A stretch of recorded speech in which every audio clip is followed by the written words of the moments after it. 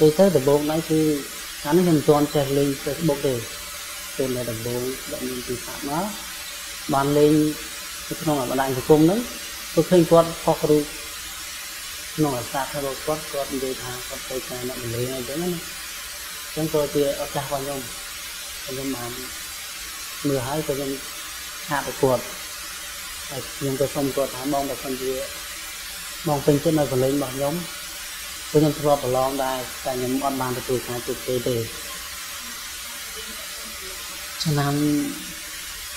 នេះក្រោយពេលប្រឡងហើយហើយនៅឆ្នាំ2010 15 15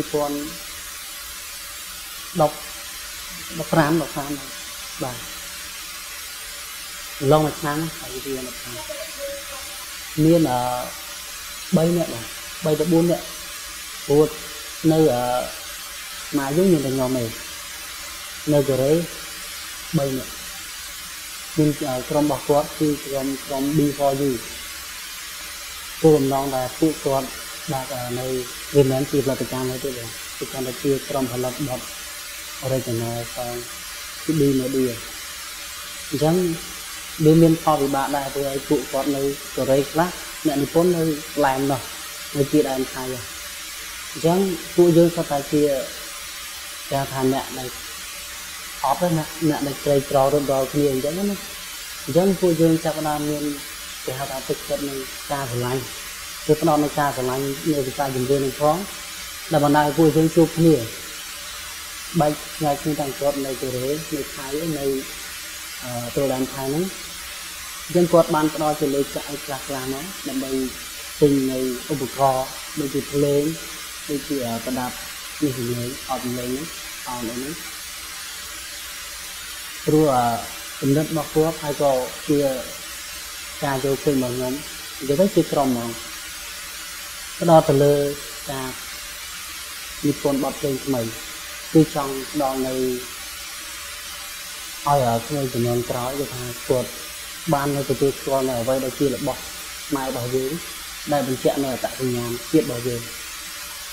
ពេលខ្លះខ្ញុំយល់ថាអឺបទភ្លេងដែលគាត់ copy ពីគេហ្នឹង គឺគាត់អាចរកនៅចំណូលបានដែរគឺគាត់អាចល្បីល្បាញទៅតាមតែបទរបស់គេ copy ពីគេគឺប៉ុន្តែពួកខ្ញុំអត់ផ្ដោតទៅលើនឹងទេគឺយើងផ្ដោតទៅលើអាបទចម្រៀង original ហ្នឹងទីមួយគឺចង់ពង្រីកនៅមុខមាត់របស់ប្រទេសរបស់យើងផងទៅជាតិរបស់យើងគឺថាប្រហែលរយៈពេលខ្លីហ្នឹងឃើញជនជាតិគេគេមើលយើងនៅខំ បងហើយជនជាតិរបស់យើង